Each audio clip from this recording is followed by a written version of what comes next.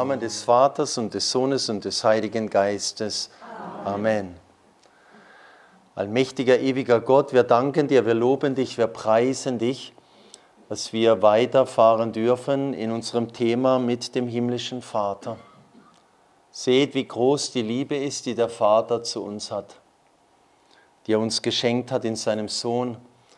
Wir heißen Kinder Gottes und sind es so dürfen wir näher hineinkommen. Gestern haben wir wirklich betrachtet diese Schönheit des Schöpfers unseres Vaters, äh, der alles ins Dasein gerufen hat aus dem Nichts. Und als Krone äh, der Schöpfung hat er den Menschen erschaffen nach seinem Bild und Gleichnis. Darin dürfen wir ähm, darüber nachdenken, ganz besonders jetzt auch in diesem Vortrag, dieser ewige Heilsplan des Vaters auf die Sünde, was das Innerste des Vaters, sein Wesen uns zeigt, was er für eine An äh, Antwort gibt auf die Sünde.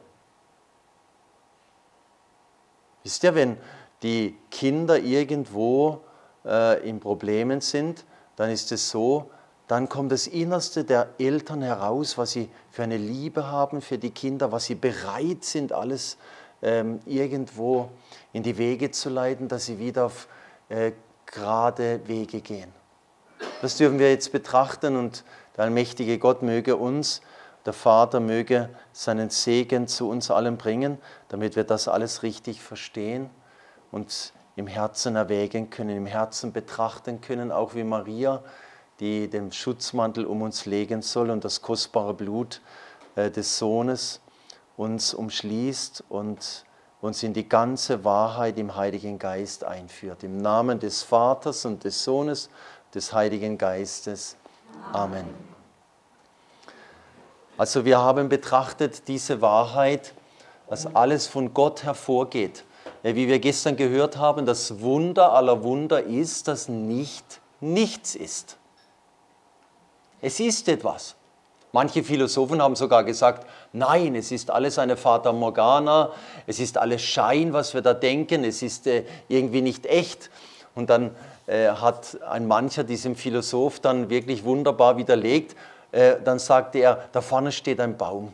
Wenn der wirklich eine Täuschung wäre, äh, dann, äh, dann äh, prüfen wir jetzt und machen mal eine, eine Probe. Jetzt laufen Sie mal los und man hat ihm den, äh, das, die Augen verhüllt mit einem Tuch und dann ist er losgelaufen in diese Richtung. Und dann stieß er sich natürlich glatt weg an diesem Baum an und merkte, es ist keine Täuschung. Es ist was da. Steht hier, manche sind so weit gekommen, dass sie leugnen, äh, dass das gar nicht so echt ist. Und wir täuschen uns, wirklich. Was da draußen ist, aber es ist echt. Kannst den Baum anfassen, der ist da, Du, du läufst wirklich mit dem Kopf dann gegen den Baum und du spürst, da ist was da. Wir können es nicht leugnen. Und ähm, dass etwas da ist, das ist das Wunder. Weder gibt es eine ewige Materie, die sich wirklich selbst organisiert, das stimmt, wenn sie ewig ist. Aber wir sehen diese Gesetzmäßigkeiten nicht in der Materie, dass sie sich selbst aufbaut, dass sie Leben hervorbringt. So wie die Evolutionisten auch denken, die Selbstorganisation der Materie und dann die Geistwerdung der Materie im Menschen.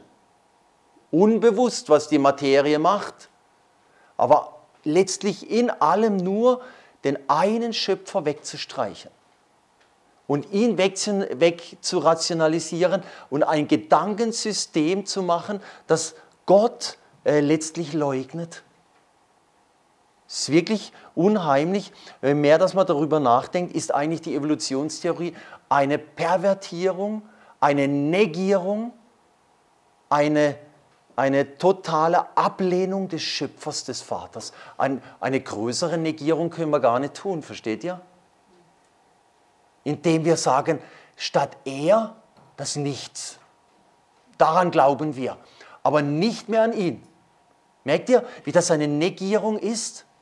Da hebeln wir uns selbst aus, wenn wir dann ganz materialistisch im Grunde eine Gesellschaft aufbauen. Ich glaube, das hat er nicht verdient, weil, sie, weil, es, weil es ja wirklich so ist, perfekt. Es funktioniert und Leben kann auch keiner machen. Die Wissenschaftler nicht. Sie kommen auch nicht hinter das Geheimnis des Lebens, weil Leben kann nur der Schöpfer machen. Das unterscheidet uns vom Schöpfer, dass wir kein Leben machen können. Das können wir uns nur schenken lassen, dieses Leben. Du bist selbst ein Geschenk vom Schöpfer, dass du leben kannst. Das darfst du annehmen.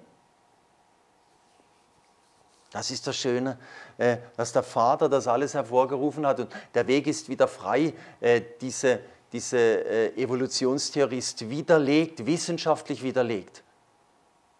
Ich auch gestern schon sagte, wir haben so, ich durfte es wirklich acht Semester studieren und ich bin auf kein anderes Ergebnis gekommen. Und all diese Theorien, es ist nur eine Theorie und eine Theorie ist so lange eine Theorie, bis sie widerlegt ist. Aber dann beginnt erst das Forschen, versteht ihr? Von, von, von Forschern, die gläubig sind, die dann irgendwie erkennen wollen, Vater, wie hast du das gemacht? Nicht, dass es eine Selbstorganisation der Materie ist. Nein, Vater, wie hast du das gemacht? Das musst du uns zeigen. Und meine Lieben, das hat, hat äh, bis, bis vor ein paar hundert Jahren die ganze Schöpfung gedacht dass am Anfang der Vater steht, der erschaffen hat. Seine neuere äh, äh, Geistesströmung, die im Grunde ihn leugnet. Aber es werden ja viele auftreten, die ihn leugnen und den Sohn leugnen. Ist auch eine Leugnung. Den Schöpfer zu leugnen, dass es ihn gar nicht gibt. Und dass alles so aus dem Nichts hervorgekommen ist, eine Leugnung. Wir müssen doch an ihn glauben. Ich glaube an Gott, den Vater, den Schöpfer des Himmels und der Erde. Wisst ihr, was das heißt? Eigentlich schon von Glaubensbekenntnis dürften wir gar nicht glauben an die Evolutionstheorie. Und doch wird es überall gelehrt, in allen, in allen Schulen, in, in, in, und dann noch falsch, versteht ihr? In einer Lüge teilweise wo es keine Wissenschaftlichkeit ist, wo so eine Macht dahinter steht und sagt, nein, äh, lieber nicht. Es kann ja gar nicht sein, dass es einen Gott gibt. Merkt ihr? Das geht nicht. Da müssen wir wieder ganz durchkommen, ihn nicht zu leugnen, sondern ihn zu bekennen. Ich glaube an Gott, den Vater, den Schöpfer des Himmels und der Erde. Hey, wir müssen bei dem bleiben. Das haben 2000 Jahre Menschen gebetet, da sind sie gestorben dafür, da haben sie ihr Leben hingegeben und wir werfen das alles in den Abfalleimer. Das geht nicht. Oder hat uns Gott belogen, 1800 Jahre vielleicht, oder äh, seit es äh, diese Evolutionstheorie gibt. Hat Gott uns belogen? Ja, es muss wieder durchdringen. Dieser schöne Glaube an den Schöpfer, der alles ins Dasein gerufen hat. Aber in dieser Schöpfung ist etwas in, hineingekommen, äh, was uns ganz schön zu, zu schaffen macht. Das ist wirklich äh, diese Erbsünde, die der Vater nicht gewollt hat, weil er den Menschen schuf, eben nach seinem Bild und Gleichnis in der Freiheit, die er ihm gegeben hat. Das leugnet keiner auf der ganzen Welt, auch nicht die Atheisten. Jeder will frei sein. Jeder will das Recht haben, frei zu sein und zu tun und zu lassen, was er will. Auch irgendwo äh, zu lieben, weil die Freiheit ist Voraussetzung für die Liebe. Wenn wir äh, nur Automaten wären, die eigentlich nur so äh, reagieren, äh, dass du da drauf drückst und dann hast du so zu funktionieren. Wenn wir solche äh, Geschöpfe wären, wie Marionetten, die einfach nur so funktionieren, dann hätten wir die Würde nicht. Das siehst du auch darin, dass eigentlich, wenn der Vater alles so wunderbar erschaffen hat, dass es doch Menschen gibt, die sagen, nein, ich glaube nicht. Ich leugne das. Das zeigt eigentlich schon, dass wir eine Freiheit haben, wo wir sogar uns gegen unseren eigenen Ursprung verwenden können und ihn leugnen. Unser eigener Ursprung verleugnen wir. Das zeigt eigentlich die Freiheit. Das ist schon der Beweis der Freiheit. Entweder tue ich dann mit meiner Zustimmung ihn lieben oder ihn verwerfen. Zwei Möglichkeiten, die zwei Möglichkeiten gibt es, andere nicht. Ja? Aber dann entziehen wir uns in einem Materialismus. Wir wissen, wo er hingekommen ist. Der Materialismus. Dann entziehen wir uns jedem Boden. Dann ist der Mensch nur eine Maschine von Chemie und Physik, die funktioniert. Da kannst du ihn klonen, da kannst du alles Mögliche machen. Äh, da ist nicht mehr ein Abbild Gottes, sondern nur noch Materialist, Materialismus. Wo wir da hinkommen, das wissen wir, das sehen wir wirklich im tiefsten in der ganzen Gesellschaft. Also in Abwege und Irrwege äh, bis zur Selbstzerstörung. Aber die Liebe zum Vater bringt uns in jene Identität und jene wahre Würde, die der Mensch hat, in Abbildlichkeit zu ihm zu erschaffen zu sein, dass er es gemacht hat und uns die Würde gegeben, frei zu sein und zu lieben. Und das ist auch die Antwort, die er gibt auf die Sünde. Wenn wir weitergehen, wenn wir jetzt die ganze Schöpfung betrachtet haben, müssen wir auch noch das betrachten, dass er den Menschen schafft. Er schuf den Menschen nach seinem Bild und Gleichnis. Als Mann und Frau erschuf er sie, heißt es in der Heiligen Schrift, als Ish und Isha, im Hebräischen als Mann und Männin. So heißt es. Also ihr seht schon, wie er den Mensch macht. Und Thomas von Aquin sagt, Gott schafft insofern er sich selbst denkt, wie er das, was er in sich hat, so macht er den Menschen. Und er schuf den Menschen also nicht als einen. Da wäre er selbst nur einer gewesen. Er hat zwei hervorgebracht, die in Liebe zueinander stehen. Er hat zwei hervorgebracht, die in Liebe zueinander stehen. Das ist Mann und Frau. Also muss er selbst so sein. Er kann nicht einer sein, sondern er ist schon einer, aber drei Personen, die sich lieben. Eben der Vater und der Sohn lieben sich im Heiligen Geist. Und so auch Mann und Frau lieben sich. Sie sind aufeinander zugeordnet. Und so schafft er schon den Menschen. Wie er selbst ist. Liebe. Die sich verschenken will, die nicht bei sich bleiben will, sondern sich dem anderen schenkt und verschenkt. Das siehst du schon in der Schöpfung. Überreich schenkt er alles. Er will nichts für sich behalten, sondern schenkt es uns damit wir ihn erkennen zu seiner Ehre, dass wir ihn loben, aber auch als Geschenk für uns, als Gabe. Schau mal so, das schenke ich dir. Wenn ein kleines Kind kommt und am Muttertag äh, der Mama einen Blumenstrauß schenkt, sagt Mama, das ist für dich, weil ich dich liebe. Ja? Tust du in der Materie deine Liebe hinein, in den Blumenstrauß tut das kleine Kind die Liebe hinein. Mama, ich hab dich lieb.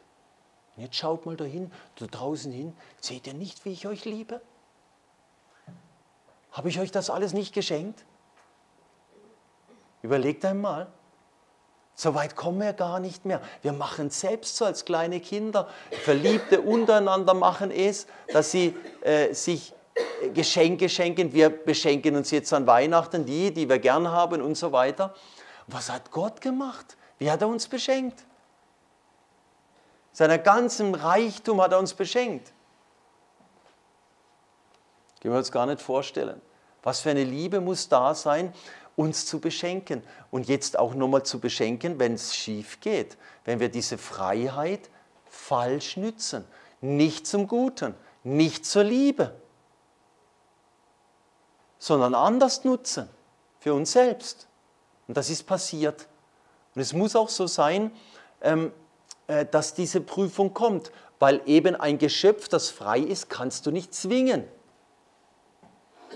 Jetzt überleg dir mal, wäre jetzt jemand, ein, ein, junges Mädchen oder ein, ein Junge, und der Freundeskreis würde zum Beispiel äh, den, diese, diesen Jungen oder dieses Mädchen zwingen, jemanden zu lieben. Jetzt überleg dir mal, was würde dir sagen, wenn dich jemand zwingen würde, du musst jetzt den lieben. Würdest du es tun? Er sagt, nee, das muss ich frei machen. Geht nicht. Ist genauso, wenn ich gezwungen worden wäre, du musst jetzt Priester werden. Und ich sage, aber stopp mal, aber hallo, das geht nicht. Wenn jemand, mir, jemand anders mir das gesagt habe, du musst jetzt das tun, ich sage, nein, muss ich selbst entscheiden. Die Liebe kann man nicht machen, die Liebe kann man nicht erzwingen, aber sie wird auch geprüft. Sie wird geprüft und sie muss geprüft, geprüft werden, ob sie den annimmt, der sie erschaffen hat. Müsst ihr jetzt mal vorstellen, ihr könnt manchmal so, wenn ihr jetzt Gott wäret, dann hättet ihr die ganze Schar vor euch, die ihr erschaffen habt. Engel und Menschen. Jetzt überleg dir mal, du wärest jetzt Gott. Manchmal hilft das, wenn wir das äh, äh irgendwie in Gedanken uns äh, vorspielen und vielleicht durchexerzieren. Und dann siehst du die alle, die du gemacht hast, aber frei, so wie du selbst frei bist. Und jetzt, was machen sie? Jetzt überleg dir mal, du wirst so stehen, dann siehst du alle, die schauen dich an, alle erkennen, von dem sind wir. Der hat uns gemacht. Und was würde jetzt der Gott tun? Der würde jetzt hinstehen und sagen, ja, was machen Sie jetzt? Erkennen Sie mich an oder nicht?